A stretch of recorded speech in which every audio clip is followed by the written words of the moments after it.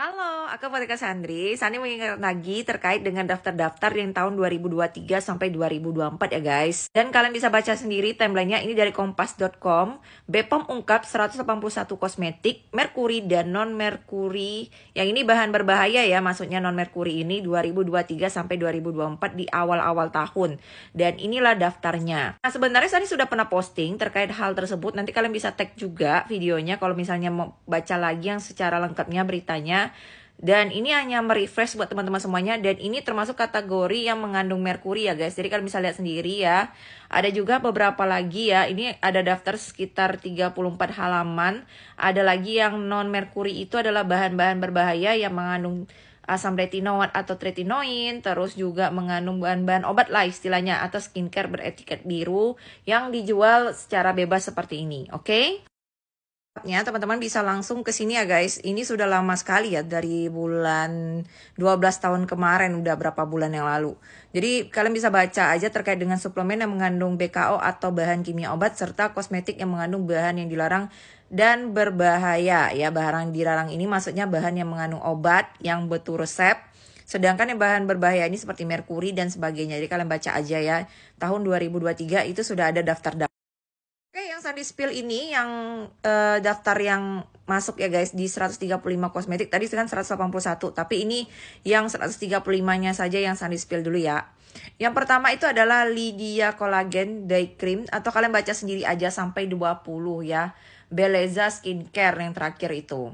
Jadi kalian cek sendiri apakah produk ini kalian gunakan silakan kalian hentikan karena ini sudah banyak mengandung bahan merkuri berdasarkan pengawasan BPOM ya guys. Sebenarnya sudah ditarik tapi masih ada aja yang jualan, oplosan, ganti merek dan sebagainya karena aja dia sudah ketahuan gitu kan. Lanjut kita masuk yang ini ya dari Balaleza ya, terus skincare night cream masuk sampai krim HN. Ini paling sering sekali krim HN ini saya dilihat. Terus juga Linsing CJ Terus kalian baca aja deh sampai bawah gitu ya. Nah, terus kalian bisa baca ini juga di sini ya guys. Nah, kalian pakai yang mana nih? Ya, Dinda Super Cream, Dinda Skincare Whitening, Dinda Skincare Vitamin Wajah Glowing. Nah, kalian baca nih terkait dengan Dinda-Dinda nih ya guys. Tuh ada bibit juga, pemutih. Hmm, ada semuanya di sini. Kalian baca aja ya. Very Lovely itu yang kemasan palsu ya, tapi sebenarnya nggak ada yang krimnya seperti ini. Nah untuk ini teman-teman bisa lihat juga ya ada Fair in Lovely Night Cream terus ada beberapa lagi yang teman-teman lihat nih uh, produk-produknya jadi baca lagi ya apakah produk kalian itu termasuk di sini yang berbahaya. Nah, teman-teman juga lihat ini ya dari nomor 80 sampai 100 apakah kalian penggunanya segera run run. Ah, kalau natural ini nih sering saya lihat tuh natural fit itu.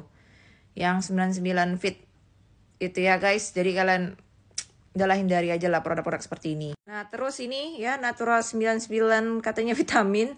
Terus ke bawahnya ya kalian baca aja apakah kalian penggunanya nih NRL, udah pernah saya dibahas juga.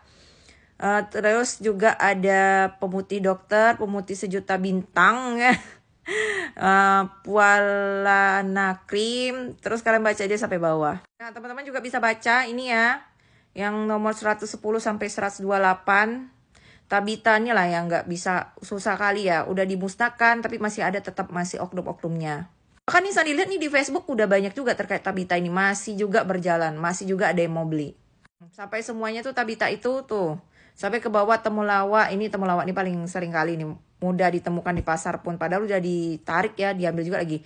Tuh yang kemarin nanyakin zam-zam whitening day cream zam-zam whitening cream night cream itu masuk kategori bahan berbahaya jadi kalian jauhi ya lah guys. Run run run dan pergilah gunakan aja skincare yang Bepom yang aman gitu ya guys. Di intinya adalah kalian harus benar-benar berhati-hati terhadap kosmetik yang kalian gunakan, apalagi kalau ada orang yang menyarankan kalian terkait dengan kosmetik yang akan digunakan. Dan buat teman-teman semuanya, pastikan yang pertama itu ya paling utama kalian menggunakan yang Bepom. Setelah itu, kalaupun ada Bepomnya, kalian cek lagi produk tersebut apakah sudah terdaftar di Bepom dengan cara masuk cek bepom.com dan masukkan nomor registrasi yang ada di sana.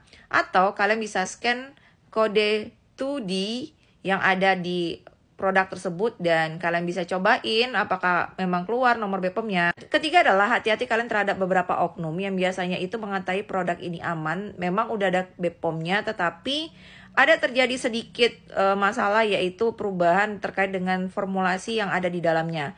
Jadi menurut Sandri nanti akan saya dibahas setelah video ini uh, supaya biar teman-teman lebih aware dan lebih berhati-hati terkait dengan beberapa oknum ini. Ada lima oknum ya dan ini Sandi ambil dari Mbak Vera gitu ya. Ini akan Sandi stitch videonya Mbak Vera, kalian bisa nonton aja terkait dengan hal tersebut. Nanti akan Sandi beri pendapat Sandi terkait dengan hal tersebut. Karena terkait dengan hal ini kalian benar-benar menjadi lebih jeli lagi terkait dengan produk kosmetik yang akan kalian gunakan yang benar-benar Bepom dan yang benar-benar baik. Intinya sebenarnya dia harus melakukan uji laboratorium setelah kalian membeli suatu produk tersebut. Tapi nggak semua orang yang bisa akses terkait dengan laboratorium tersebut. Dan tidak semua orang yang punya privilege untuk memeriksa ya produk-produk tersebut karena kan mereka mendapatkan fee atau something lah untuk baru bisa melakukan pemeriksaan atau yang rela mengeluarkan dulu budgetnya untuk terkait pemeriksaan. Dan juga untuk pemeriksaan itu terkait misalnya steroid atau beberapa produk-produk obat ya itu butuh uh, praktek ilmu yang berbeda dari yang seharusnya orang awam yang ketahui seperti itu. Tapi sebenarnya kami ini akan membantu kalian secara baik. Yang intinya adalah kalau kalian merasa produk itu aman, kalian cek lagi historinya, cek lagi e-commerce-nya, terus juga cek lagi BPOM-nya, cek lagi uh, netizen-netizen yang memakainya. Intinya adalah hati-hati terhadap booster-booster ya terkait dengan netizen ini. Tapi memang benar-benar harus lebih selektif kalau untuk penggunaan produknya. Oke? Okay? Oke, segitu aja dari Sandi. Terima kasih buat teman-teman. Cek mandiri ya, cek BPOM-nya di cekbepom.com. Oke, okay,